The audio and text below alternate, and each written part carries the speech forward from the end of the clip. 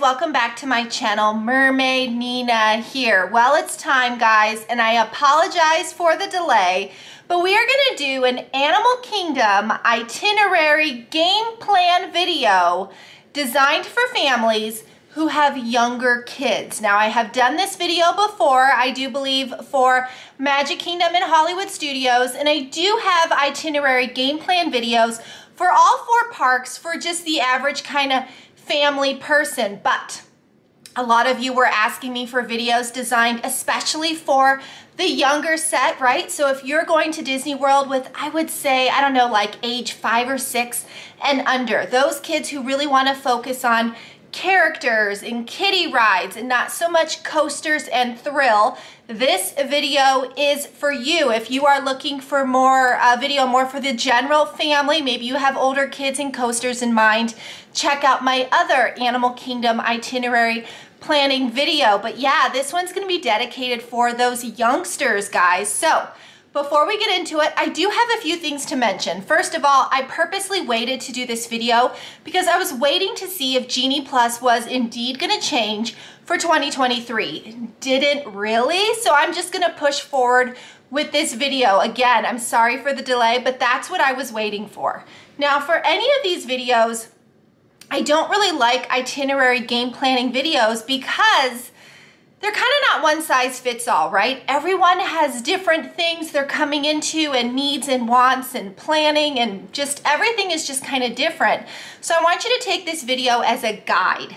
Use it as a guide of what my family does over at Animal Kingdom. Take notes. You really, really want to look at the map, whether you can get a physical park map or just go ahead and go on the app. But it's really, really helpful to have a map and look at it while watching these videos or while coming up with your game plan or your itineraries for your park days. But again, the key here is to be flexible because as much planning and, you know, itinerary things you can do, ah, life is life and kids are kids and things are just gonna change, but it is really helpful to go into it having that research. The first thing you wanna do is you wanna get like a top five, top 10 must do list per park.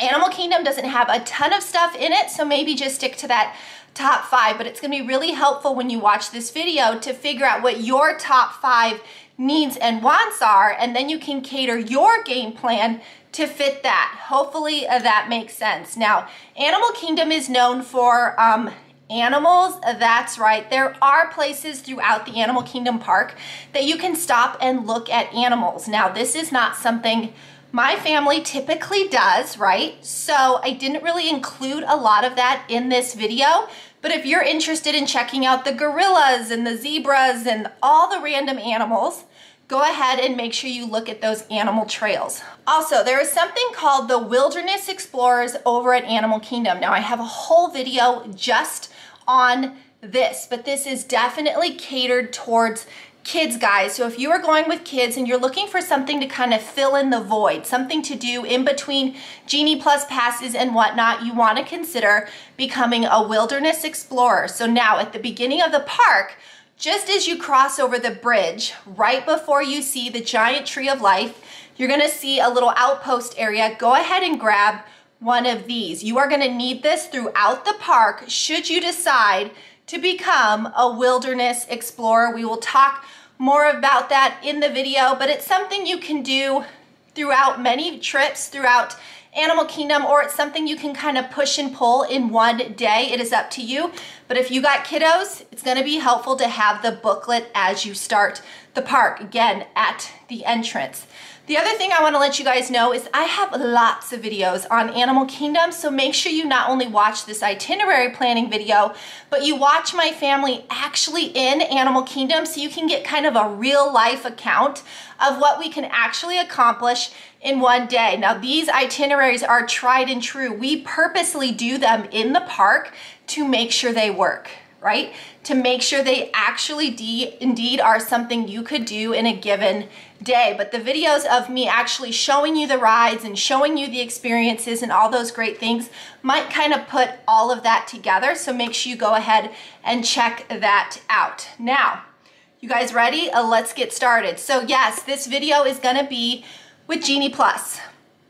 Why? Because I think it works. I know it's pricey, it's extra money, but I think it works. And when you have kiddos at hand, I mean, what kids really want to wait in line? And to be honest, Adults don't want to wait in line either. So as much as this is about Genie Plus, it doesn't have to be. If you don't want to get Genie Plus, you can follow the same guide uh, game plan. You just might not get as much done, but this absolutely can work if you don't have Genie Plus as well. So just note that in, you know, that I'm going into it with Genie Plus in mind. So as I said, guys, you have your list of your top five things you want to do at Animal Kingdom.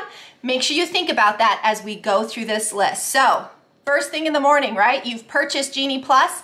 It is 7 a.m. or it's almost 7 a.m. You can do two things, right? You can get your Genie Plus pass and you can get your individual Lightning Lane pass if you're staying at a Disney resort. If you're not staying at a Disney resort, then forget that part, you do that later. But for those of you on property at 7 a.m., you get to pick, well, I'm suggesting you pick between Kilimanjaro Safaris, which is the safari ride with all the animals, or Navi River Journey. Now, obviously Safari Ride is much better than Navi River Journey. Navi River Journey is just like a really calm water ride. It's like four minutes long. It's not a big deal. But I don't know why, but the line gets super duper long. So those are the two things I'm gonna suggest you think about passing at 7 a.m. For individual lightning lane, your option is Pandora Flight of Passage. Now this ride isn't necessarily geared towards children. It is very thrill seeking. I do believe there is a height requirement for it. It's virtual reality, guys, but if anyone in your family wants to ride Flights of Passage, you're gonna wanna get that individual lightning lane. And I'm gonna suggest you get it before lunchtime. To follow this itinerary, you wanna get Flights of Passage around 11 and 12 o'clock. Hopefully this makes sense. So which one are you gonna pass, right? Navi River Journey or Kilimanjaro Safaris. Now this is my thought on the matter. If you are a resort guest and you are able to go at rope drop, that means a half an hour before the park opens, you're gonna wanna pass Navi River Journey. Why? Because if you are doing rope drop, the first thing I'm gonna send you to do is the safari. So if you're gonna do the safari first thing in the morning at low wait, then you're going to pass Navi River Journey. If you're gonna enter the park a little bit behind opening, then you are definitely gonna wanna pass Kilimanjaro Safaris. Does that make sense? So kind of think about that as we go through this itinerary. If you are gonna do rope drop, if you are early morning people, you're gonna be the first people in the park, don't pass the safari, pass Navi River Journey. If you're gonna be a little bit behind, then go ahead and pass the safari. Hopefully you guys are with me. So it's time to enter the park, guys. If you're doing rope drop, resort guests, this is what I suggest. Again, 30 minutes before everyone else. You, the first thing you're gonna do is you're gonna head left and you're gonna go straight to Kilimanjaro safaris. And again, I am following the park map. So I am gonna pop up maps throughout this video so you guys understand what I'm talking about. I'm trying to avoid the whole human ping pong thing where we're all over the park all day long. We're gonna try to go with the flow a little bit. Hopefully that makes sense. So again, first thing in the morning, you're there at rope drop, you're gonna do Kilimanjaro safaris, no pass. Ready? After you do the safari, you're gonna head a little bit over to the right and you're gonna do the Wildlife Express train. Now this is an actual choo-choo train, chugga chugga choo-choo, right? It's gonna take you to Rafiki's Planet Watch. At this point, we're kind of just killing time. We're kind of just entertaining the kiddos, killing time before our Navi River Journey pass. Now, hopefully you got Navi River Journey for about 10, 30, 11 o'clock because that will get you closer to the Pandora time that I suggested. You see where I'm going here? Your family can do Navi River Journey and then the adults can do Flights of Passage, boom, boom, boom, right after each other. So as we're killing time, we've already ridden, ridden the safari. We have Navi River Journey kind of on the horizon here. We're gonna go check out Rafiki's Planet Watch. And there you have the affection section, which means you can go pet some dwarf goats. That's right, you can also feed them. You can go check out the animator's experience if you are interested in drawing a Disney character, if you like art, if your kiddos are creative, this could be fun for you. It's also a time killer, right? It takes time to do these activities. So if you don't have the time, don't do it. But if you do have the time, I absolutely suggest the Express Train and Rafiki's Planet Watch. Or when you get off the safaris, if you turn right, you can actually do Gorilla Falls, which is one of those animal trails I talked about at the beginning of the video. So again, this is gonna be based on what time it is and what time your Navi River Journey Pass is for. So you've done the safari, you've done the train, maybe you did Gorilla Falls, you're killing time, maybe you found some Wilderness Explorer things that you can do on the way. But eventually, you're gonna make your way over to Pandora. Now, there's a little pathway. This is what I suggest. There's a little pathway just past the safaris. You kind of walk around where the Lion King show is. Again, I'm going to show you the map. It's right along the waterway. You want to take that kind of sneak peek entrance into Pandora for two reasons. A, it's usually less crowded, and there's a bathroom on the way. That's right, kiddos, bathrooms, that goes hand in hand. And because it's on the waterway, there's often a chance you are gonna see a flotilla. A flotilla is a parade in the water. Again, check out my videos because I show you those flotillas. They just happen randomly, guys, throughout the day in the water. You could see Mickey, you could see Pocahontas, you could see Doug and Russell from up, we saw DuckTales in the water. If it's Christmas time, you might see Santa. Anyway, the characters are constantly changing. They're in the water. So that's kind of why I like to take that little sneak peek road to Pandora. It's quiet, it's calm, there's a bathroom, and you might go and see a flotilla. So on your way to Pandora, again, it's almost time for Navi River Journey, hopefully. You're gonna explore and see those awesome things which kiddos love. And then you're gonna enter Pandora. Now, hopefully two things are happening at this point. You've got your flights of passage if you are indeed interested in that ride for the older set, right? Those adults, teenagers, older kids. And then hopefully it's time for Navi River Journey. So once you're in Pandora, divide and conquer, do whatever passes you have. Ride both rides, do some shopping, get a snack. There are more Wilderness Explorer things in that area. You're just gonna try to kill time again in the Pandora area, do some pin trading. So depending on what you passed in the morning, remember I told you you had options. If you passed Kilimanjaro safaris, at this point, you might, once you scan in, I always say you have to scan in twice, then you can get your next pass, right? If you did the safaris, the next thing you might wanna pass is Navi River Journey. Now, if you did rope drop and you did the safaris without a pass, by the time you rode Navi River Journey, right, again, scanned in two times, you get to pass again. I am suggesting you are gonna pass the Festival of the Lion King, roughly their two o'clock show. So for some people, you might be able to pass, depending on the time of year, you might have been able to pass Safari and then Navi and then Festival of the Lion King. But the reason I'm having rope drop people go to Safari without a pass is because they can use their pass for the Safari later on in the day. Hopefully this makes, makes sense. So by this time, we have done the safari. We have done the Wildlife Express train or Gorilla Falls.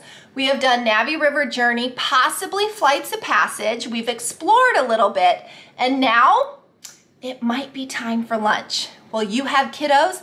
The lunch you should probably get is Tusker House. Tusker House is the character meal over at Animal Kingdom features Donald Duck in his safari gear. He's so cute. He often is meeting with Daisy, Mickey, and sometimes Goofy, sometimes Pluto. They do like to switch it up a bit, but that's your character meal.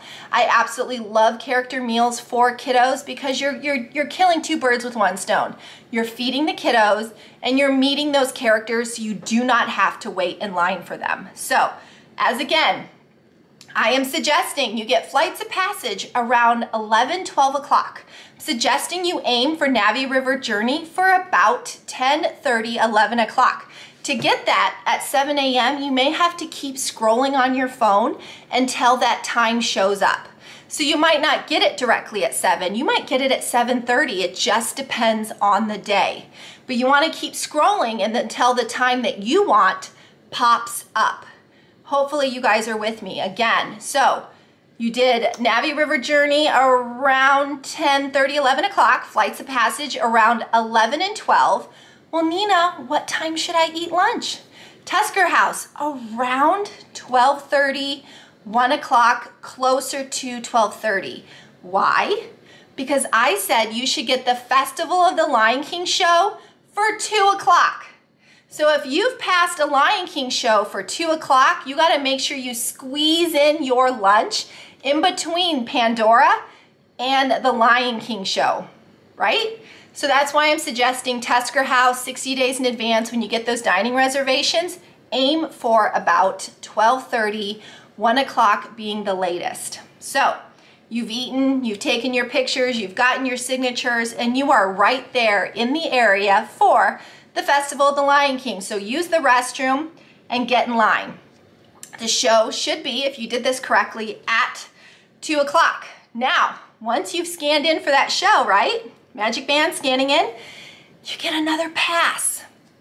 At this point, I'm suggesting you pass Dinosaur. Now, Dinosaur is a bit of a crazy, wild ride. There is some jerking involved. My kids love it. So if you've got a kid who is a little bit more adventurous, consider passing Dinosaur. If you really truly have little littles who are not interested in anything crazy, then you're gonna skip Dinosaur. Don't pass that. So you're gonna pass the Finding Nemo show about the 4.30 show, right? But you're still gonna go into the dinosaur area. So no matter if you pass the ride dinosaur or not, after the Lion King show, you're gonna cut back over past the Tree of Life and head towards Dino Land, USA.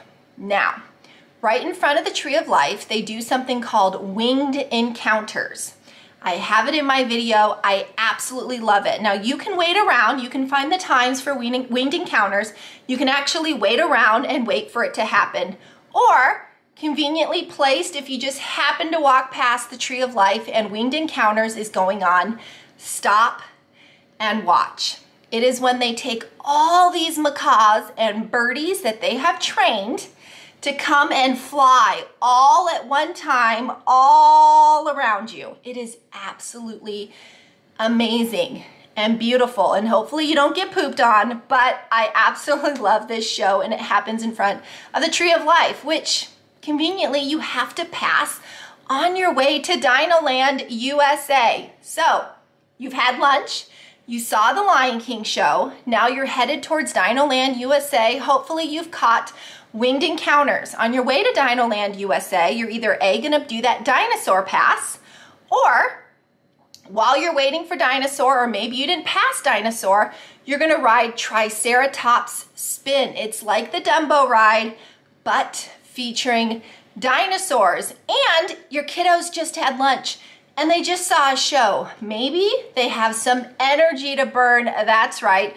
Don't forget to check out the Boneyard. The Boneyard is a kid exercise playground thing over at Dinoland USA. Let them run, let them play, let them get out their energy. Again, you're either gonna ride dinosaur and then do these other things, or you're not gonna ride dinosaur, you're gonna do triceratops spin, you're gonna do the boneyard. If you still have more time to kill, they have carnival games in there. Yes, you have to pay for them. It's about $6 a game, but you can get some really cool prizes, some really cool plushies. I'm gonna pop them up here because yes, Nina has them all.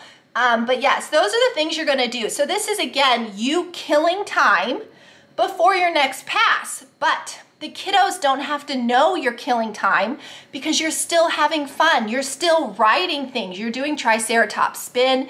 You're doing the boneyard. You're playing games all within Dino Land USA.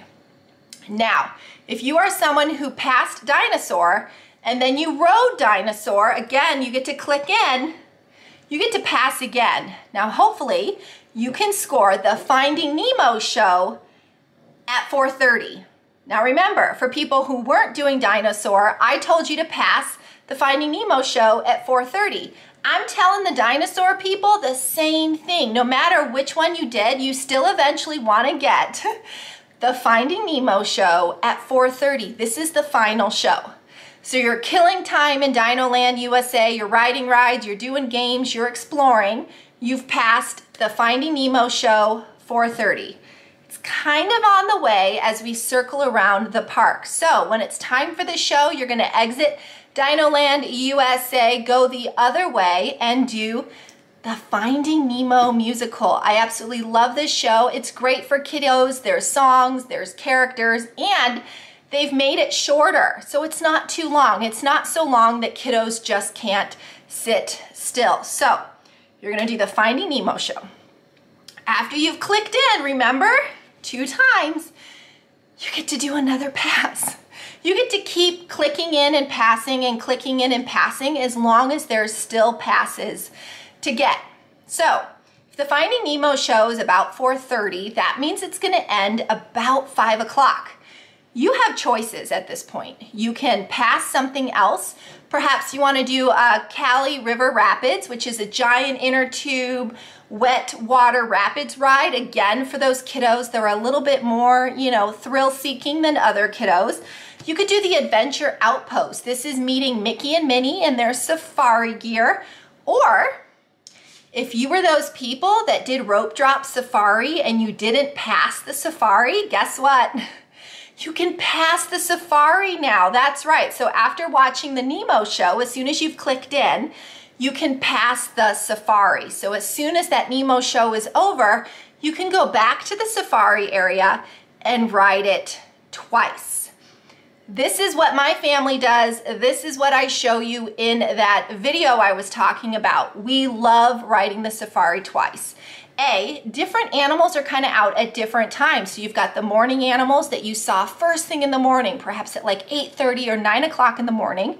And now you're seeing animals towards the end of the day around 5 o'clock. A lot of times, again, it's in this video, it's totally awesome. The animals know what time it is. Just like anyone else, we get a sense it's time for dinner, it's time to go to bed, it's time to drive home from work. These safari animals are no different. So around that 4.35 o'clock zone, the animals know the safari is closing. So they start walking towards where they're kept in the evening or they walk towards where they normally get fed dinner.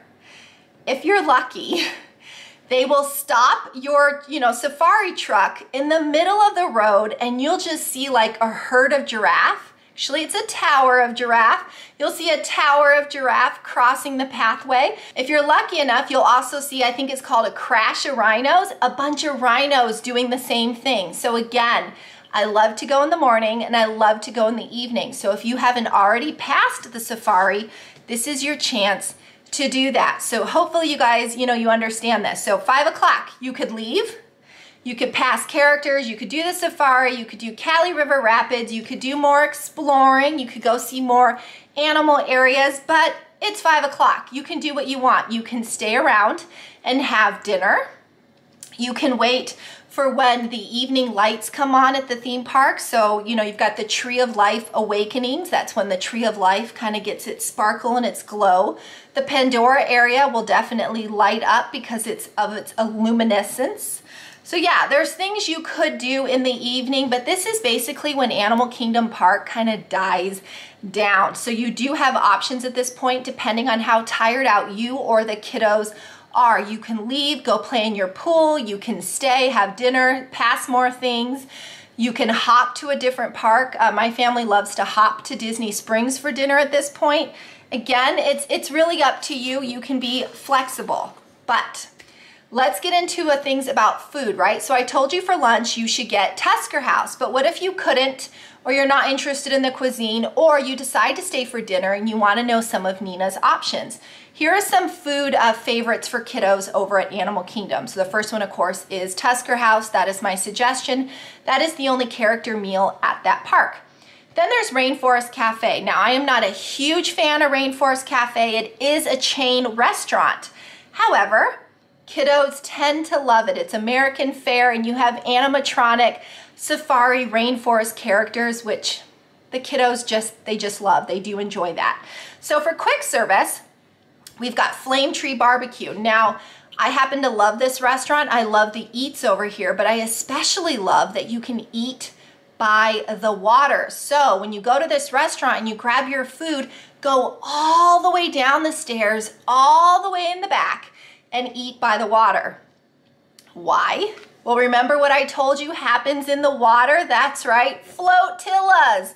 So you could absolutely be feeding your kiddos some barbecue while they're watching Mickey and Pluto and DuckTales and whoever kind of float by. Love that restaurant for that specifically. Next is Harambee Market. Now, Harambee Market is near Kilimanjaro Safaris. Now, what I love about this location is there's about three tables by the gate.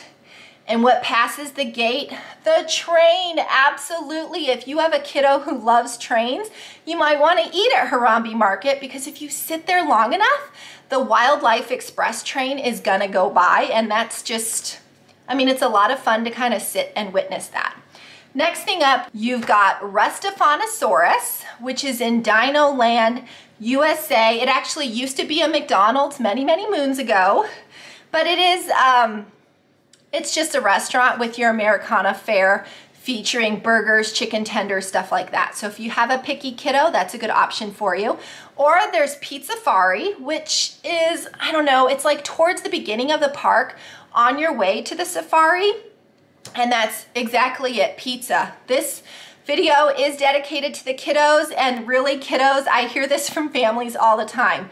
Um, my kiddo doesn't eat anything but pizza. My kiddo doesn't eat anything but burgers or chicken nuggets. Well, there you go. Pizzafari and Restaurantosaurus is for you, but check out the other menu items because you might like the other restaurants as well. So that's it for food for the kiddos, depending on what you do with your day. Now, there's a few things I did not mention that are 100% at Animal Kingdom. Now, this is when you want to do your research because if you're interested in these other things, you want to work that into your game plan. First one it is Expedition Everest. Expedition Everest is a coaster.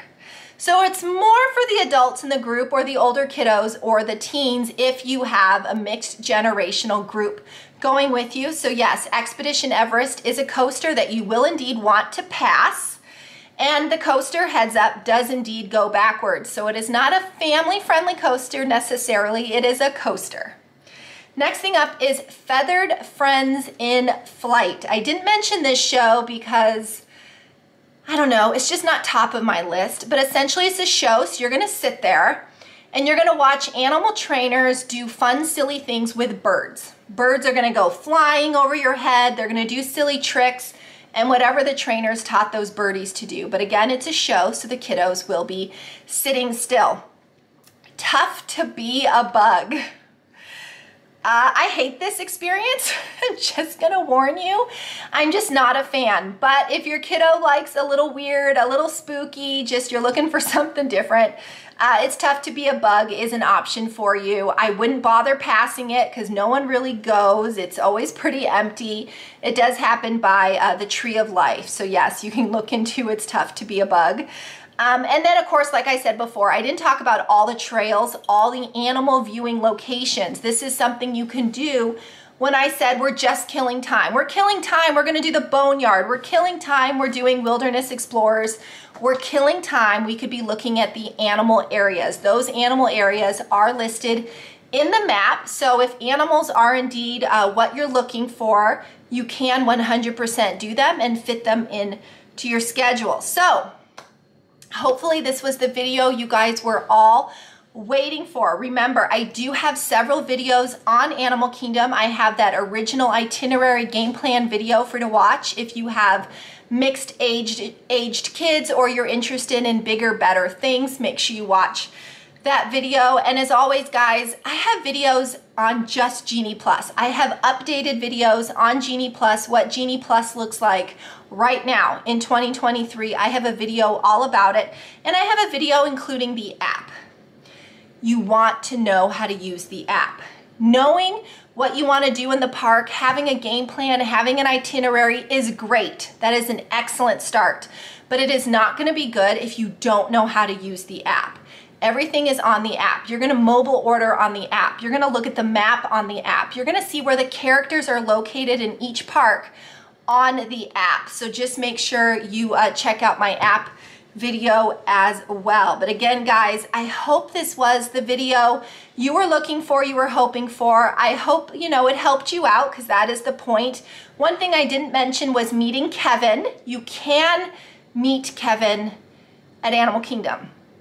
But not all the time. Like we were just there, there was no Kevin. So you definitely want to pay attention if Kevin is meeting people that day and you can add her to the list. Again, that should pop up on the app. But I don't want to forget about Kevin because I love her. And if she's out and about, Nina is going to find her and hang out with her because she's adorable. She's the perfect little mommy. Anyway, with all that said, guys, hope you enjoyed the video. Hope it helped you out. If you haven't already, please subscribe to my channel. If the subscribe button is red, please click it, turn it gray, hit the bell icon for notifications, like this video, and comment.